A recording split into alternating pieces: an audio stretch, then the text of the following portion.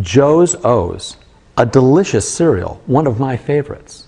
We're going to use this box of cereal and this model to see how we can use fractions to describe quantity. So what's the quantity of cereal in this box? It's a big box. But have you ever gone to your box of cereal and you look inside and you find out it's not full? This box is not full. I can tell by the weight. So I'm going to open it up and we're going to see how much is really in here.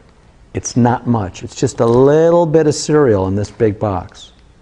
So we're going to use this model to estimate the amount of cereal in this box. Is it one half? Is it one quarter?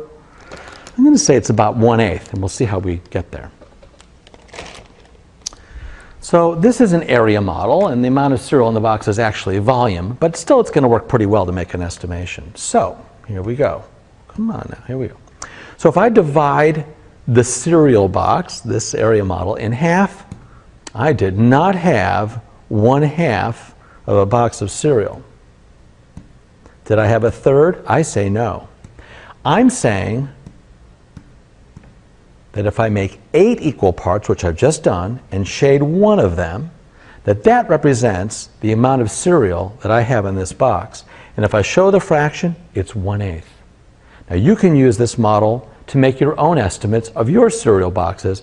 I'm saying I've got about one eighth of a cereal box left in this particular example.